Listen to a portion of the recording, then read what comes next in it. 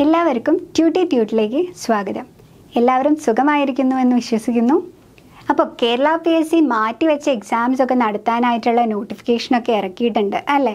നിങ്ങളെല്ലാവരും അറിഞ്ഞു കാണും എന്താണെന്നല്ലേ? നമ്മളെ കേരള പി എസ് സി വീണ്ടും എക്സ്ട്രാ ഓർഡിനറി ഗസറ്റ് വഴി നമ്മുടെ കേരളത്തിൽ വിവിധ യൂണിവേഴ്സിറ്റികളിലേക്ക് പല തസ്തികകളിലേക്കായിട്ട് റിക്രൂട്ട്മെന്റിനായിട്ടുള്ള നോട്ടിഫിക്കേഷൻ പുറത്തുവിട്ടിട്ടുണ്ട്.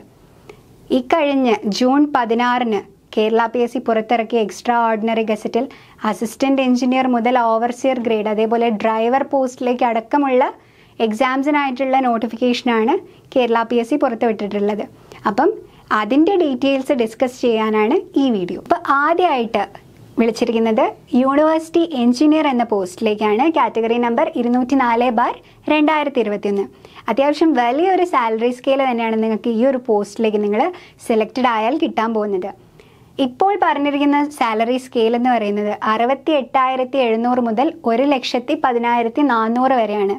അത്യാവശ്യം വലിയൊരു സാലറി സ്കെയിൽ തന്നെയാണ് അല്ലേ? ഇനി നിലവിൽ റിപ്പോർട്ട് ചെയ്തിരിക്കുന്ന വേക്കൻസി എന്ന് പറയുന്നത് ഒരു വേക്കൻസിയാണ് പക്ഷേ ഈ ഒരു വേക്കൻസി കണ്ടിട്ട് ആരും അപ്ലൈ ചെയ്യാതിരിക്കരുത്. കാരണം ഈ ഒരു വേക്കൻസി നമ്പർ ഇൻക്രീസ്ഡ് ആവാനുള്ള ചാൻസ് ഉണ്ട്. ഓക്കെ ആണല്ലോ? ഇനി ഏജ് ലിമിറ്റ് വരുന്നത് നിങ്ങളുടെ പ്രായം ഇരുപത്തിരണ്ടിനും അൻപതിനും മധ്യയാണെങ്കിൽ നിങ്ങൾക്ക് ഈ ഒരു പോസ്റ്റിന് വേണ്ടി അപ്ലൈ ചെയ്യാം. ഇനി കാര്യമായും ഈ ഒരു പോസ്റ്റിന് വേണ്ടി അപ്ലൈ ചെയ്യാനുള്ള എഡ്യൂക്കേഷണൽ ക്വാളിഫിക്കേഷൻ നമുക്ക് നോക്കാം. സിവിൽ എഞ്ചിനീയറിംഗിൽ നിങ്ങൾക്കൊരു ഡിഗ്രി അല്ലെങ്കിൽ അതിന് തത്തുല്യമായ ഒരു യോഗ്യത നിങ്ങൾക്കുണ്ടെങ്കിൽ നിങ്ങൾക്ക് ഈ ഒരു പോസ്റ്റിന് വേണ്ടി അപ്ലൈ ചെയ്യാൻ പറ്റും. അത് കൂടാതെ ഒരു ഗവൺമെന്റ് ഫേമിലോ അല്ലെങ്കിൽ ഒരു സെമി ഗവൺമെന്റ് ഫേമിലോ അല്ലെങ്കിൽ ഒരു ഓട്ടോണോമസ് ഫേമിലോ നിങ്ങൾക്ക് പത്ത് വർഷമെങ്കിലും അസിസ്റ്റന്റ് എഞ്ചിനീയർ പോസ്റ്റിൽ വർക്ക് ചെയ്തിട്ട് അല്ലെങ്കിൽ അസിസ്റ്റന്റ് എഞ്ചിനീയർ അല്ലെങ്കിൽ അതിന് മുകളിലുള്ള ഒരു പോസ്റ്റിൽ വർക്ക് ചെയ്തിട്ടുള്ള ഒരു എക്സ്പീരിയൻസ് വേണം. എങ്കിൽ മാത്രമേ നിങ്ങൾക്ക് ഈ ഒരു പോസ്റ്റിന് വേണ്ടി അപ്ലൈ ചെയ്യാൻ പറ്റുള്ളൂ. സോ ഈ ഒരു ക്വാളിഫിക്കേഷൻ നിങ്ങൾക്കുണ്ടെങ്കിൽ നിർബന്ധമായും നിങ്ങൾ ഈ ഒരു പോസ്റ്റിന് വേണ്ടി അപ്ലൈ ചെയ്യുക. അടുത്തതായി വിളിച്ചിരിക്കുന്നത് പ്രോഗ്രാമർ എന്ന പോസ്റ്റിലേക്കാണ് കാറ്റഗറി നമ്പർ ഇരുന്നൂറ്റി അഞ്ച് ബാർ രണ്ടായിരത്തി ഇരുപത്തിയൊന്ന്. ഇതിന്റെയും സാലറി സ്കെയിൽ അത്യാവശ്യം നല്ലൊരു പേ സ്കെയിൽ തന്നെയാണ് ഇതിനും വരുന്നത്. മുപ്പത്തി ഒമ്പതിനായിരത്തി അഞ്ഞൂറ് മുതൽ എൺപത്തി മൂവായിരം രൂപ വരെയാണ് ഈ ഒരു പോസ്റ്റിലേക്ക് കേരള പി എസ് സി നിലവിൽ പറഞ്ഞിരിക്കുന്ന പേ സ്കെയിൽ എന്ന് പറയുന്നത്. ഇതിൽ നിലവിൽ റിപ്പോർട്ട് ചെയ്തിട്ടുള്ള വേക്കൻസി എന്ന് പറയുന്നത് ഒരു വേക്കൻസിയാണ്.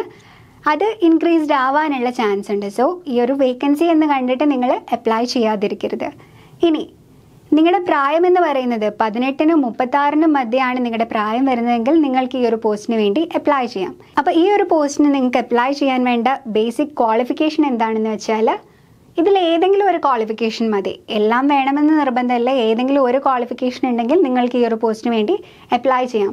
സോ ഇലക്ട്രിക്കൽ ആൻഡ് ഇലക്ട്രോണിക്സ് അല്ലെങ്കിൽ ഇലക്ട്രോണിക്സ് അല്ലെങ്കിൽ കമ്പ്യൂട്ടർ സയൻസ് ഇതിൽ ഏതെങ്കിലും ഒരു ബ്രാഞ്ചിൽ നിങ്ങൾക്കൊരു ബി ടെക് ഡിഗ്രി ഉണ്ടെങ്കിൽ അല്ലെങ്കിൽ നിങ്ങൾക്കൊരു എം സി എ ഡിഗ്രി ഉണ്ടെങ്കിൽ നിങ്ങൾക്ക് ഈ ഒരു പോസ്റ്റിന് വേണ്ടി അപ്ലൈ ചെയ്യാൻ പറ്റും. അല്ലെങ്കിൽ നിങ്ങൾ ഏതെങ്കിലും ഒരു ഡിസിപ്ലിനിൽ നിങ്ങൾക്കൊരു ബി ടെക് ഡിഗ്രി ഒപ്പം നിങ്ങൾക്ക് എന്ത് വേണം? പി ജി ഡിപ്ലോമ വേണം എന്തിൽ കമ്പ്യൂട്ടർ ആപ്ലിക്കേഷനിൽ അങ്ങനെയെങ്കിൽ നിങ്ങൾക്ക് ഈ ഒരു പോസ്റ്റിന് വേണ്ടി അപ്ലൈ ചെയ്യാൻ പറ്റും. ഇനി ഡാറ്റ പ്രോസസ്സിങ്ങിലും സോഫ്റ്റ്വെയർ ഡെവലപ്മെന്റിലും നിങ്ങൾക്കൊരു വൺ ഇയർ എക്സ്പീരിയൻസ് ഉണ്ട് ഈ ഒരു ബി ടെക് ഡിഗ്രിക്ക് പുറമെ. അങ്ങനെയെങ്കിൽ നിങ്ങൾക്ക് ഈ ഒരു പോസ്റ്റിന് വേണ്ടി അപ്ലൈ ചെയ്യാൻ പറ്റും. ആൻഡ് എന്താണ് M S C electronics physics computer science mathematics സ്റ്റാറ്റി ഇതുപോലുള്ള വിഷയങ്ങളിൽ നിങ്ങൾക്കൊരു മാസ്റ്റേഴ്സ് ഡിഗ്രി ഉണ്ടെങ്കിൽ അപ്പോഴും നിങ്ങൾ ഈ ഒരു പോസ്റ്റിന് വേണ്ടി അപ്ലൈ ചെയ്യാൻ എലിജിബിൾ ആയിരിക്കും. സോ നിങ്ങൾക്ക് ഈ ഒരു ക്വാളിഫിക്കേഷൻ ഉണ്ടെങ്കിൽ നിർബന്ധമായും നിങ്ങൾ അപ്ലൈ ചെയ്തിടുക. ഓക്കെ ആണല്ലോ?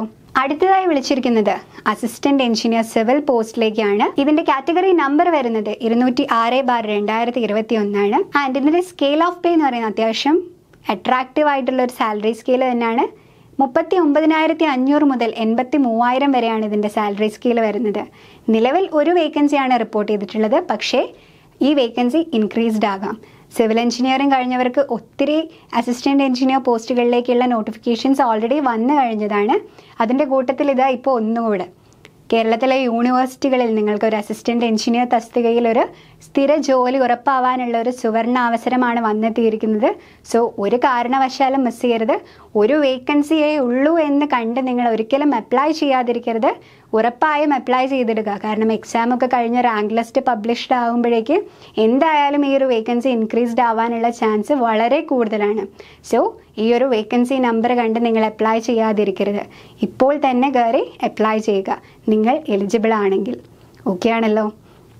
ഇനി ഇരുപത്തൊന്നിനും നാൽപ്പതിനും മധ്യയാണ് നിങ്ങളുടെ പ്രായം വരുന്നതെങ്കിൽ നിങ്ങൾക്ക് ഈ ഒരു പോസ്റ്റിന് വേണ്ടി അപ്ലൈ ചെയ്യാൻ പറ്റും. ഇനി ഇതിന്റെ ക്വാളിഫിക്കേഷൻ നമ്മൾ നോക്കുകയാണെങ്കിൽ നിങ്ങൾക്ക് സിവിൽ എഞ്ചിനീയറിംഗിൽ ഒരു ബാച്ചിലേഴ്സ് ഡിഗ്രി ഉണ്ടായാൽ മതി അല്ലെങ്കിൽ ഒരു ബിടെക് ഡിഗ്രി ഉണ്ടായാൽ മതി അല്ലെങ്കിൽ അതിന് തത്തുല്യമായ ഒരു യോഗ്യത നിങ്ങൾക്ക് ഉണ്ടാവണം. എങ്കിൽ നിങ്ങൾ ഈ ഒരു പോസ്റ്റിന് വേണ്ടി അപ്ലൈ ചെയ്യാൻ എലിജിബിൾ ആണ്. ഓക്കെ ആണല്ലോ? ഇനി അടുത്തതായി വിളിച്ചിരിക്കുന്നത് ഓവർസിയ ഗ്രേഡ് ടു പോസ്റ്റിലേക്കാണ് അത് ഇലക്ട്രിക്കൽ ഇലക്ട്രിക്കൽ ഓവേഴ്സിയ പോസ്റ്റിലേക്കാണ് വിളിച്ചിരിക്കുന്നത്. കാറ്റഗറി നമ്പർ ഇരുന്നൂറ്റി എട്ട് ബാർ രണ്ടായിരത്തി ഇരുപത്തി ഒന്ന് ഇതിന്റെ പേ സ്കെയിൽ വരുന്നത് ഇരുപത്തി രണ്ടായിരം മുതൽ നാൽപ്പത്തി എട്ടായിരം വരെയാണ് ഇതിന്റെ പേ സ്കെയിൽ വരുന്നത്. നിലവിൽ ഒരു വേക്കൻസിയാണ് റിപ്പോർട്ട് ചെയ്തിട്ടുള്ളത്.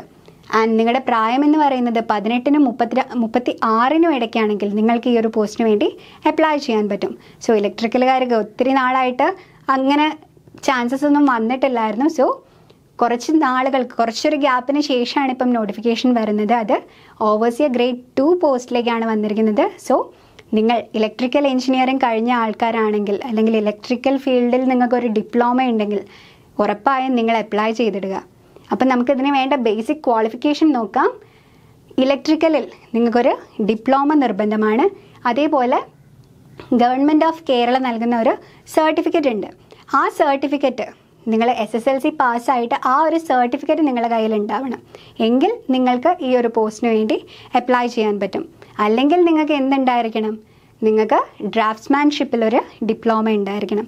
എങ്കിൽ ഈ ക്വാളിഫിക്കേഷൻസിൽ ഏതെങ്കിലും നിങ്ങൾക്ക് ഉണ്ടെങ്കിൽ നിങ്ങൾക്ക് ഈ ഒരു പോസ്റ്റിന് വേണ്ടി അപ്ലൈ ചെയ്യാവുന്നതാണ്. അപ്പോൾ അടുത്തതായിട്ട് വിളിച്ചിരിക്കുന്നത് ഡ്രൈവർ കം ഓഫീസ് അറ്റൻഡന്റ് പോസ്റ്റിലേക്കാണ് കാറ്റഗറി നമ്പർ ഇരുന്നൂറ്റി പത്ത് ബാർ രണ്ടായിരത്തി ഇരുപത്തി ഒന്ന് ഇതിന്റെ പേ സ്കെയിൽ വരുന്നത് പതിനെട്ടായിരം മുതൽ നാൽപ്പത്തി രണ്ടായിരം വരെയാണ്. അത്യാവശ്യം കുഴപ്പമില്ലാത്തൊരു പേ സ്കെയിൽ തന്നെയാണ് അല്ലേ ഇനി നിലവിൽ റിപ്പോർട്ട് ചെയ്തിരിക്കുന്ന വേക്കൻസി എന്ന് പറയുന്നത് ഒരു വേക്കൻസിയാണ് പക്ഷേ ഈ ഒരു വേക്കൻസി നമ്പർ കണ്ട് നിങ്ങൾ അപ്ലൈ ചെയ്യാതിരിക്കരുത്. നിങ്ങൾ എലിജിബിൾ ആണെങ്കിൽ ഉറപ്പായും നിങ്ങൾ അപ്ലൈ ചെയ്യുക. കാരണം ഈ ഒരു വേക്കൻസി നമ്പർ ഞാൻ പറഞ്ഞ പോലെ ഇൻക്രീസ്ഡ് ആവാനുള്ള ചാൻസ് ഉണ്ട്. ഇനി നിങ്ങളുടെ പ്രായം എന്ന് പറയുന്നത് പതിനെട്ടിനും മുപ്പത്തി ആറിനും ഇടയ്ക്കാണെങ്കിൽ നിങ്ങൾക്ക് ഈ ഒരു പോസ്റ്റിന് വേണ്ടി അപ്ലൈ ചെയ്യാം. ഇനി ഇതിന് വേണ്ട ബേസിക് ക്വാളിഫിക്കേഷൻ എന്ന് പറയുന്നത് നിങ്ങൾ സെവൻ സ്റ്റാൻഡേർഡ് പാസ്സായിരിക്കണം അല്ലെങ്കിൽ അതിന് തുല്യമായ തത്തുല്യമായ ഒരു യോഗ്യത നിങ്ങൾക്ക് ഉണ്ടാവണം. എങ്കിൽ നിങ്ങൾക്ക് ഈ ഒരു പോസ്റ്റിന് വേണ്ടി അപ്ലൈ ചെയ്യാം. അത് കൂടാതെ എന്താണ്? നിങ്ങൾക്ക് ലൈറ്റ് മോട്ടോർ വെഹിക്കിൾ അതേപോലെ ഹെവി മോട്ടോർ വെഹിക്കിൾ ഓടിക്കാനായിട്ടുള്ള ബാഡ്ജ് ഡ്രൈവേഴ്സ് ബാഡ്ജ് നിങ്ങളുടെ കയ്യിൽ നിർബന്ധമായും ഉണ്ടായിരിക്കണം. അത് നിങ്ങൾ അപ്ലൈ ചെയ്യുന്ന സമയത്ത് നിങ്ങളുടെ കയ്യിൽ അത് നിർബന്ധമായും ഉണ്ടായിരിക്കണം. എങ്കിൽ മാത്രമേ നിങ്ങൾക്ക് ഈ ഒരു പോസ്റ്റിന് വേണ്ടി അപ്ലൈ ചെയ്യാൻ പറ്റുകയുള്ളൂ. സോ നിങ്ങൾ എലിജിബിൾ ആണെങ്കിൽ ഒട്ടും കാത്തു നിൽക്കാതെ ഇപ്പം തന്നെ കയറി അപ്ലൈ ചെയ്തിടുക. ഓക്കെ ആണല്ലോ? അപ്പോൾ ഇത്രയായിരുന്നു Kerala P S C June പതിനാറിന് പുറത്തുവിട്ട എക്സ്ട്രാ ഓർഡിനറി ഗസറ്റിൽ പറയുന്ന പോസ്റ്റുകളും അതിന്റെ ക്വാളിഫിക്കേഷൻ ഡീറ്റെയിൽസും അപ്പം നിങ്ങൾ എലിജിബിൾ ആണെങ്കിൽ നിങ്ങൾ ഉറപ്പായും ഇതിന് അപ്ലൈ ചെയ്യണം. അപ്ലൈ ചെയ്യാനുള്ള അവസാന തീയതി എന്ന് പറയുന്നത് ജൂലൈ ഇരുപത്തി ഒന്നാണ് ജൂലൈ ഇരുപത്തി ഒന്നിന് മുമ്പായിട്ട് നിങ്ങൾ നിർബന്ധമായും ഇതിന് അപ്ലൈ ചെയ്തിടുക. നിങ്ങൾ എലിജിബിൾ ആണെങ്കിൽ. കാരണം ഒത്തിരി വേക്കൻസീസ് ഒക്കെ ഇനിയും ഇൻക്രീസ്ഡ് ആവാനുള്ള ചാൻസ് ഉണ്ട്. ഇപ്പം മിക്കതിലും ഒരു വേക്കൻസി ഒക്കെയാണ് റിപ്പോർട്ട് ചെയ്തിട്ടുള്ളത്. പക്ഷേ ഈ ഒരു വേക്കൻസി നമ്പർ നമുക്കറിയാം. എക്സാം ഒക്കെ നടത്തി മൂന്ന് വർഷം എടുക്കും എങ്ങനെയാണെങ്കിലും ഈ ഒരു ലിസ്റ്റ് പ്രാബല്യത്തിൽ വരാൻ. അപ്പോഴേക്കും എന്തായാലും നമ്മുടെ വേക്കൻസി കൂടാനുള്ള ചാൻസ് വളരെ കൂടുതലാണ്. സോ നിങ്ങൾക്ക് ഈ പറഞ്ഞ പോസ്റ്റുകളിലേക്ക് അപ്ലൈ ചെയ്യാനൊരു ക്വാളിഫിക്കേഷൻ ഉണ്ടെങ്കിൽ നിർബന്ധമായും നിങ്ങൾ അപ്ലൈ ചെയ്തെടുക്കുക സോ ഒട്ടും ലേറ്റ് ആക്കരുത്. നിങ്ങളുടെ പ്രിപ്പറേഷൻസ് ഇപ്പോഴേ തുടങ്ങുക. So do practice well prepare well thank you